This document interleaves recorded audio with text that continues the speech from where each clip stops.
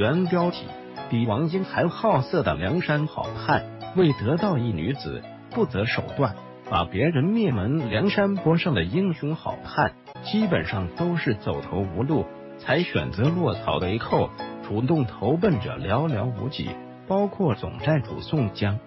众所周知，宋江本为官府小吏，拿着不错的俸禄，有着上等的地位，偶尔做一些行侠仗义之事。逐渐在江湖上小有名气，人送绰号“呼保义”。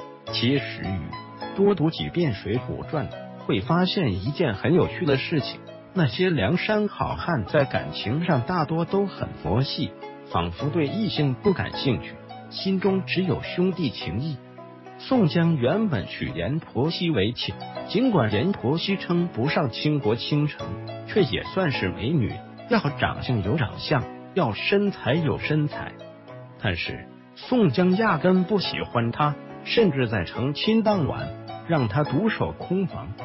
再说武松帅气逼人，武功了得，有情有义，爱憎分明，却几乎没考虑过结婚之事，甚至让人有些怀疑武松心里是不是有问题。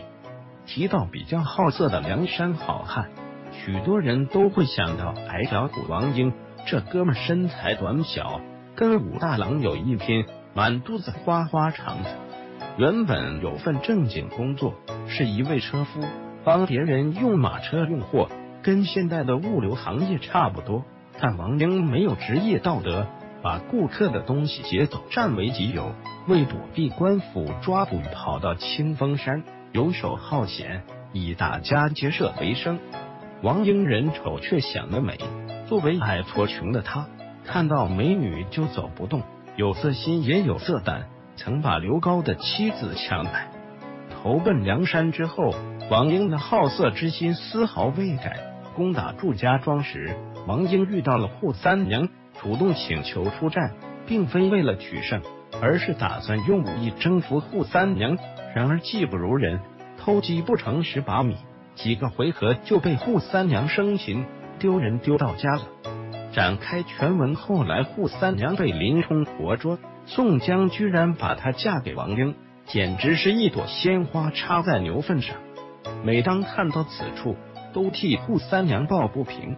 王英根本配不上她，恨不得抓住王英暴打一顿，然后把扈三娘解救出来。王英好色是出了名的，但有一个人比他还要好色，为得到一女子。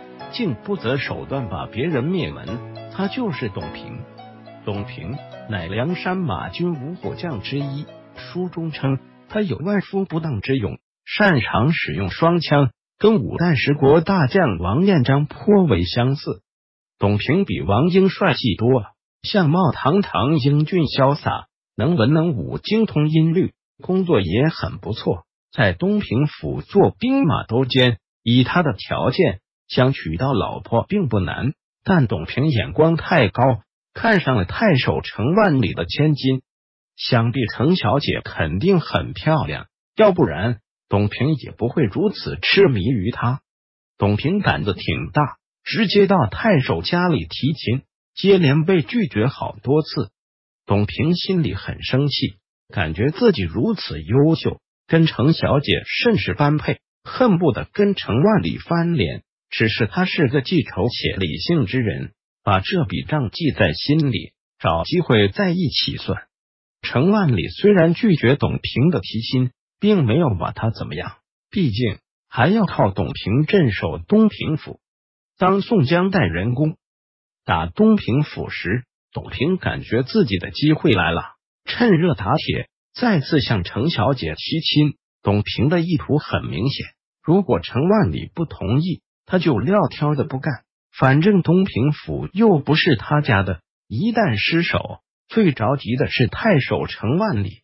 老奸巨猾的程万里深知董平的用意，他对董平说：“带的退了贼兵，保护城池无事。”那时一亲，意味委婉，既没有答应，也没有拒绝，让董平先打败城外的敌军，然后再考虑此事。